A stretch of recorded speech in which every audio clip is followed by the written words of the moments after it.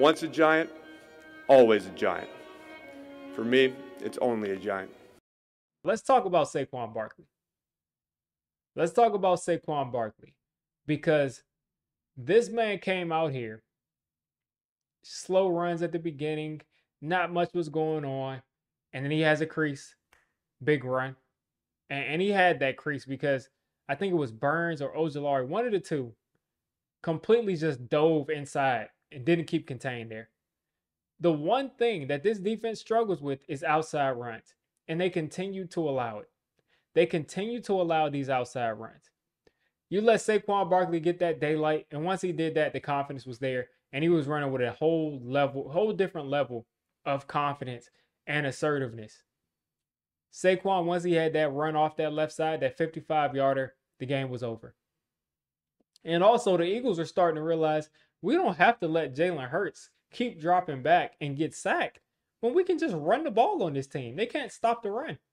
They can't stop the run off the edges. So why would we why would we throw the ball? And I'm thinking that's a very good point. The Giants cannot stop the run off the edges. Saquon Barkley went for 17 carries, 176 yards. 17 carries, 176 yards. Uh, Kenneth Gainwell, 56 yards on 13 carries. Jalen Hurts with 22 yards, but some crucial 22 yards. And essentially, like I said, some people are saying the defense gave up, but the defense over the course of this season, when they keep at it, when they keep at it and they attack those edges, they can't stop the run. And it, it's just that simple. So hopefully, hopefully, you know, we can we can eventually get better in that category, but it doesn't really matter for this season because the Giants are going into uh, this next game at what two and five. This is the second time they had the chance to kind of turn their season around a little. If they win this game, they'll be three and three and uh three and four. The Eagles have been three and four. They'd be what one or two games out of first place. It, it and as I'm talking right now, the punter just got to run into the kicker call. So it, that that's happening too. But Saquon Barkley tore this defense apart because they just got shredded. There were gaps everywhere. There were gaps everywhere. People kept on crashing down. And then after a while, he just was bouncing off of guys. And uh, he should have had 240 yards today, but they set him down at the beginning of the fourth quarter. So that's one thing. Uh, the offensive line, let's go back to them. Andrew Thomas is out, and all of a sudden, Jermaine Eluemunor can't block. He's given up three sacks today. Three sacks from Jermaine Eluemunor after not giving up any sacks the first, what, six weeks? All of a sudden, Jermaine Eluemunor is giving up three sacks in a game. All of a sudden, he can't block. He can't block to save his life. You got Ezeudu over there, and they got him at left tackle.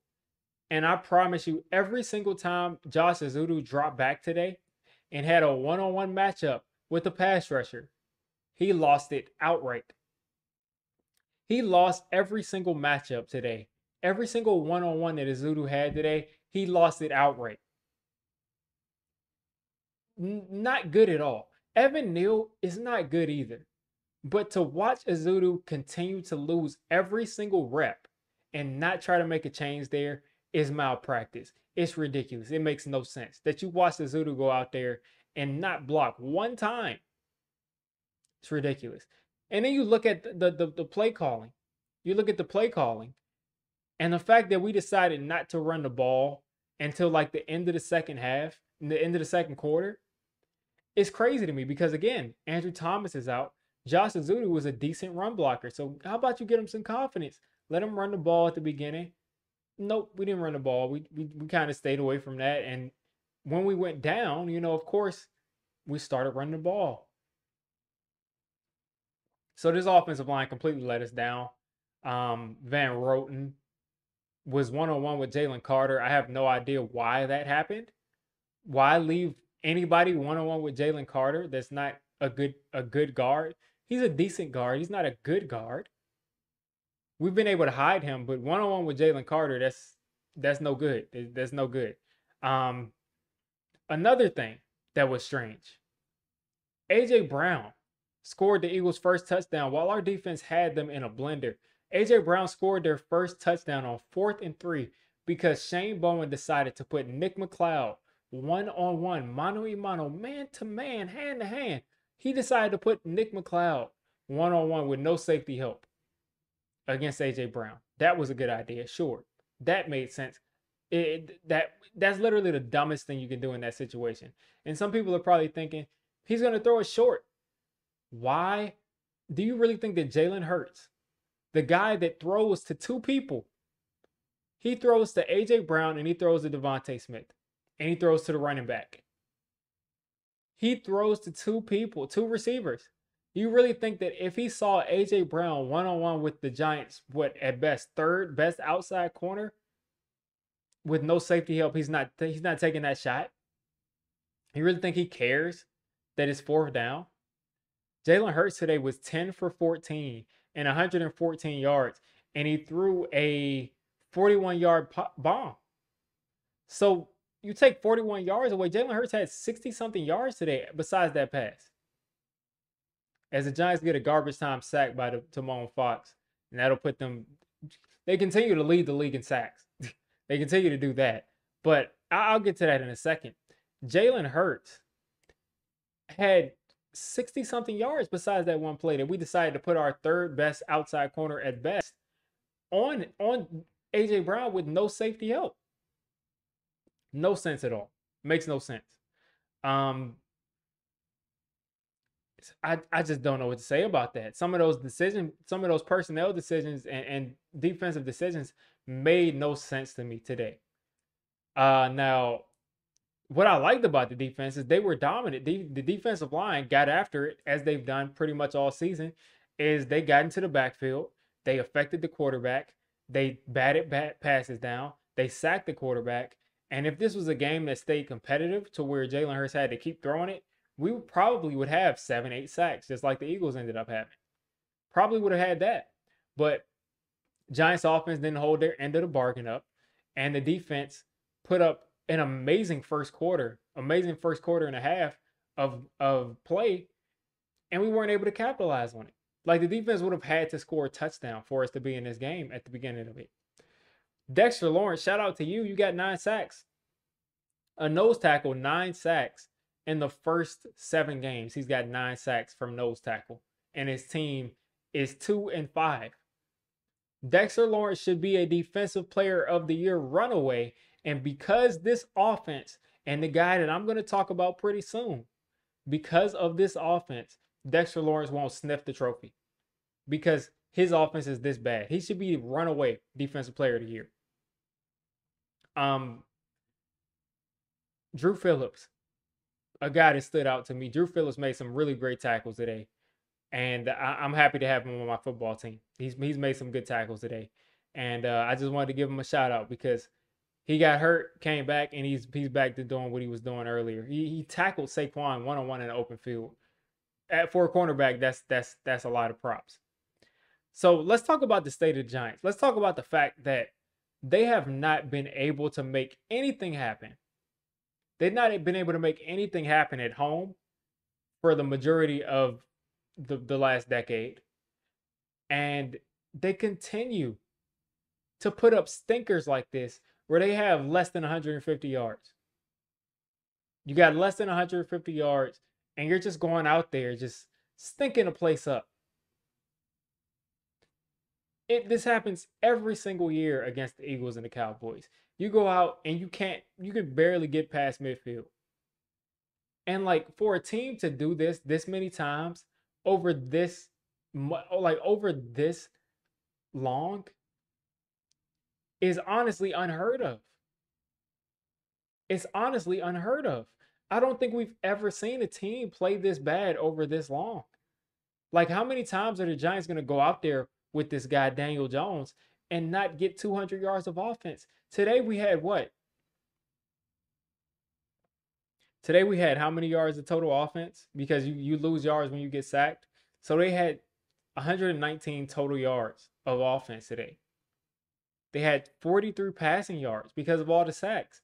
And if you, you know, if you take away that part, Daniel Jones, you know, without the sacks had 99 yards today on 21 passes. 99 yards. The longest throw that we had today was 14 yard completion to Malik Nabers, who had 41 yards, which is almost half of Daniel Jones's day. And how many times are we going to continue to suit this guy, Daniel Jones, up and watch this performance? And yes, the offensive line was a disaster. But it seems like when the offensive line isn't playing like a top 10 offensive line or top five offensive line, we can't get any production. Is this the worst offensive line in NFL history? Yes or no? Is this the worst offensive line in NFL history? It's not. I don't think so. And this is this is we should be getting better quarterback play. I watched quarterbacks game after game against us, against this pass rush, be able to maneuver against this Giants pass rush. So why can't our team why can't our offense do it? Why can't our offense do it? The problem at quarterback is so outstanding that we cannot operate unless we have a top five offensive line, pass protection wise. And something has to be done about it. Something's got to be done about it. How many times are we going to watch this, folks? How many times? Because when Daniel Jones goes out there, maybe next week or maybe in a couple weeks, and he throws for 180 yards or 250 or whatever, and two touchdowns, we're going to forget about today. We're going to forget about Minnesota. And he's going to be back here next year. And we're going to see the exact same thing. When it matters, this guy is going to pull his pants down. And he's going to number two all over the stadium. He's going to number two all over the place. I'm not, he's going to mess the stadium up so bad. MetLife Stadium is just covered and just funk that smells like Daniel Jones. It's just covered in it. And they they refuse to do anything about it. So, I mean that something has to something has to be done. Brian Daboll, if he doesn't make a change, if you don't uh, go out and get Tannehill, if you don't put DeVito in, because Lock looks like he's even worse than Daniel Jones, if you don't put DeVito in or something, you're going to lose your job, buddy. You're done. You're going to lose your job because of Daniel Jones, because you decided to continue on with this guy. You're going to lose your job. I hope you're ready for it. I hope you're ready for it. So, um, yeah, I mean, to wrap, to wrap things up, Brian Burns is looking like he's going to miss some time because he's been struggling with that groin since the beginning of the season. And he looked like he's he's aggravated it. Kind of had to limp off the field. So we'll see what happens with that. Andrew Thomas is done for the season, so no hope there for the offensive line. Maybe Evan Neal, you know, saves us, but let's let's be honest. And then uh Jalin Hyatt, not that he was a huge contributor, but Jalin Hyatt looks like he may have uh tweaked his hamstring pretty badly, so we won't see him for a while. So get well soon on that account. Uh Ty Summers, special teamer, got hurt early on. Hopefully he's okay. And um, you know, it is what it is the New York Giants continue to go out there and be so inept on offense that I start to fall asleep on stream. And we're okay with that. We're just fine with that. We know we just continue to go out there. Nothing's wrong. You know, the offensive line has to do a better job. The quarterback's no issue. So um, we got at least, what, 10 more games of this? And hopefully next year we can have a guy out there that elevates the football team and can get this train moving because this defense is outstanding as far as rushing the passer and Malik Nabers is a boss at receiver. So hopefully we can get things going. Uh, the Giants lose to the Philadelphia Eagles 28 to 3. And it is absolutely unsettling that this keeps happening.